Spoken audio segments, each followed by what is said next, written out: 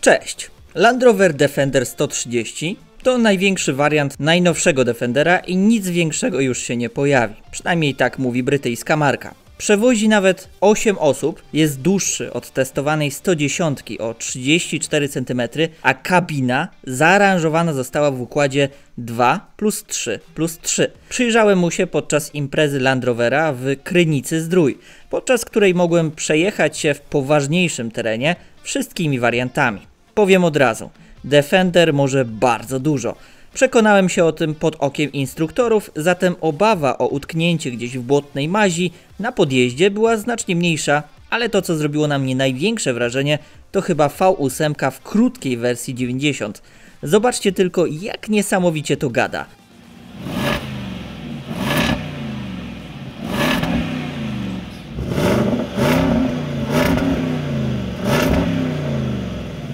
Jeśli chcecie oglądać więcej testów nowych samochodów na tym kanale, przyda się subskrypcja z dzwoneczkiem oraz zaobserwowanie naszego Instagrama. Wszystkie linki poniżej, a my lecimy z intro.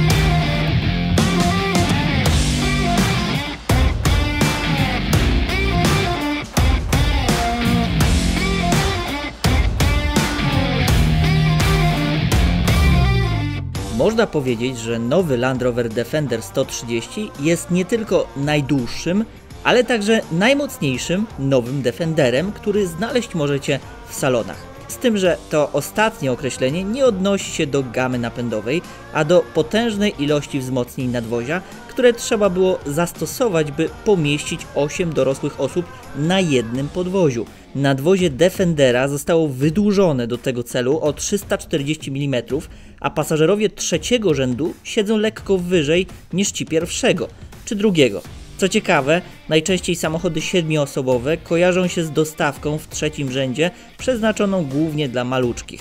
Siadanie jest niewygodne, mało komfortowe, Należy to traktować jako dodatkowa opcja. a po rozłożeniu foteli drugiego rzędu okazuje się często, że konstruktorzy nie pomyśleli, że pasażerowie mogą mieć nogi, gdyż te zwyczajnie się nie mieszczą.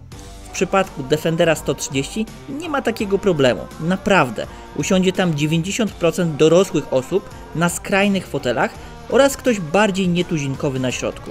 Jest dodatkowo dużo miejsca nad głową, dodatkowy szyberdach, duże boczne szyby oraz kontrola automatycznej klimatyzacji. Stylistyka? Tu nie ma zmian. Auto dysponuje tymi samymi cechami stylistycznymi co mniejsze warianty. Do dyspozycji są opcje akcesoryjne w rodzaju namiotu na dach czy sakwy o pojemności lekko ponad 20 litrów. Zakochani we współczesnej stylistyce Defendera dostają tu to samo, a nawet 34 cm więcej tego samego towaru. Dla wariantu 130 zarezerwowany został całkowicie nowy i elegancko prezentujący się lakier Sedona Red. Ładny, nie? Obok białego świetnie leżącego na 90 oraz zielonego z matową folią, z którym została skonfigurowana testowana 110, uważam, że to najciekawsza opcja kolorystyczna. Jak wygląda kwestia wymiarów? Land Rover Defender 130 mierzy na długość 5358 mm, a 90 jedynie 4,5 metra. Szerokość całkowita jest taka sama i wynosi 2008 mm. 130 względem 110 najbardziej różni się zasłupkiem C. Widać najbardziej przeciągnięty tył, w przypadku 90 macie znacznie powiększone drzwi. Co ciekawe, 130 i 110 cechują się takim samym rozstawem osi, wynoszącym 3022 mm. Z kolei prześwit jest w wersji 130 największy i wynosi aż 290 mm. Ma to również związek ze wzmocnionym zawieszeniem, które musiało zostać dostosowane do nowych busiarskich możliwości Defendera. Różnice widać także po masie własnej 130, która jest największa w stosunku do reszty. Zakres, zaczynający się przy 90 od 2140 kg, kończy się na 2603 kg 130. Kwestie napędowe? Wspominałem, że to najmocniejszy, a raczej najbardziej wytrzymały Defender z Defenderów, ale faktem jest, że dysponuje także niezłą gamą silnikową. Uzbrojony jest w dwa warianty sześciocylindrowych benzyniaków z układem mild hybrid, czyli P300 od Petrol 300 i P400 o mocy odpowiednio 296 i 395 koni mechanicznych.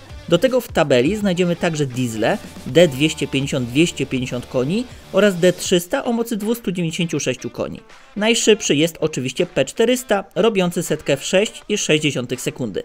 Wszystkie 130 są standardowo wyposażone w napęd na 4 koła i 8-stopniową automatyczną skrzynię biegów, adaptacyjne zawieszenie pneumatyczne oraz system Terrain Response, którym miałem się okazję pobawić już wcześniej podczas testu Defendera 110. DEF to auto na wskroś terenowe, mimo że przez purystów już nieuznawane, za przepakowanie technologiami i elektroniką. Kąty natarcia, zejścia i rampowe są świetne. Maksymalna głębokość brodzenia to 900 mm, a holować można przyczepę o masie 3000 kg. We wnętrzu nie zmieniło się zbyt wiele. Na desce rozdzielczej na pewno dostrzeżecie większy ekran dotykowy o przekątnej 11,4 cala.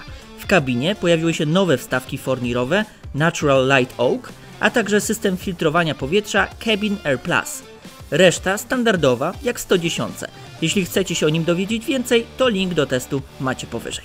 Klapa bagażnika, tak jak w reszcie modeli, otwiera się na bok, odsłaniając wielki kufer. Nie żartuję. Nawet przy rozłożonym trzecim rzędzie siedzeń jest tu niemal 400 litrów przestrzeni bagażowej. To więcej od standardowej pojemności 90. Po złożeniu trzeciego rzędu uzyskujemy 1094 litry. Po złożeniu drugiego rzędu siedzeń uzyskujemy wielką przestrzeń cargo. W przypadku 130 jest to ponad 2,5 tysiąca litrów, natomiast w analogicznym ustawieniu kanapy 110 oferuje 1875 litrów. Przejdźmy do cen, bo niestety nie jest zbyt tanio. Najtańszą 130 jest wariant wysokoprężny z 3-litrową jednostką sześciocylindrową rzędową o mocy 250 koni. To najsłabszy silnik w ofercie, dostępny za kwotę minimalną 440 600 zł w wersji wyposażenia S. Szkoda, ale 130 nie jest póki co oferowana z silnikiem V8. Najtańsza benzyna ma również 3 litry i 6 cylindrów, wyciąga 300 koni i kosztuje 436 tysięcy złotych. To kwota większa o 95 tysięcy złotych od identycznej wersji napędowej w przypadku 110. 200-konny diesel u krótszego kolegi kosztuje natomiast 334 tysiące złotych. Płacicie zatem prawie 100 tysięcy złotych więcej za 34 cm nadwozia, czyli 2900 zł za każdy centymetr, 100 tysięcy złotych za dodatkowe 3 osoby, czyli przeliczając ponad 33 tysiące złotych za każdego jednego pasażera oraz 100 tysięcy złotych za 2,5 tysiąca litrów bagażnika, czyli 160 złotych za każdy dodatkowy litr. Takie promocje tylko w netto na Black Friday. A wy co sądzicie o nowym Defenderze 130? Jakich ma konkurentów? Jaki samochód byście wybrali, gdybyście zastanawiali się nad tej wielkości suwem? Koniecznie dajcie znać w komentarzach. Subskrybujcie kanał i oglądajcie nas również jutro w nowym odcinku na poboczu. Hej!